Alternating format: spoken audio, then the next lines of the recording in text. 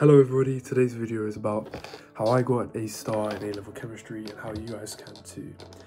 Before starting A-level chemistry, I was so intimidated by it. I used Anki, right? I used Anki to make a skeleton of my course. Put every topic out with a deck and then I just saw how much I need to know. So it wasn't as intimidating and I didn't get as stressed. For each topic, I would make flashcards in it. I would watch YouTube videos on that topic and I'd go through the CGP guide and that really helped because it allowed me to take control of my studies and responsibility for it and actually be a step ahead of everyone else in my course. Me doing this and working early allowed me to actually have less stress and not worry about it as much and actually teach myself and learn how to teach myself and then using that skill is so important to be able to teach yourself something and teach yourself how to learn. Doing the topics in class I would actually pay more attention, ask better questions because then I could actually be more valuable in the lesson compared to what I was before where I was so confused, oh I didn't know what that was before oh, I have to do it after lesson because I don't have time right now and I don't want to seem stupid, all these stuff.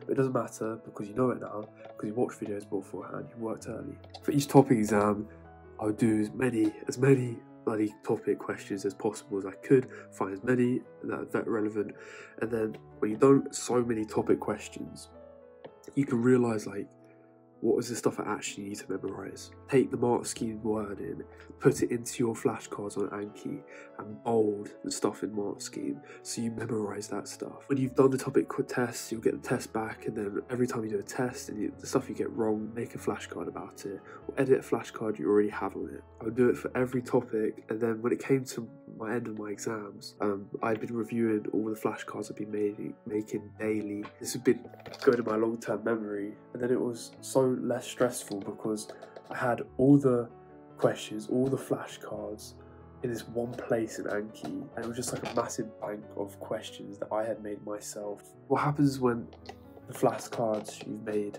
are actually automatic? Make like mind maps of organics to make it simpler. Try and make a mind map of how you get from one molecule to the other maybe just go for a walk and try and list out all the topics and then if you pick a topic try and think figure out what is actually in that topic what type of questions will come up what do i need to memorize and can you do that outside of having an actual question being thrown at you? And then can you teach other people about that topic? And maybe just teach yourself or just record yourself talking to a camera and try and teach the camera my anki cards in the description they're the ones that help me get a 3 a stars and i hope they can help you but also try and get a cgp guide and all these other stuff if i had these flashcards at the start of my A levels, it would have saved me so much time. And yes, edit them, change them how you want. Hope it helps. Thank you very much.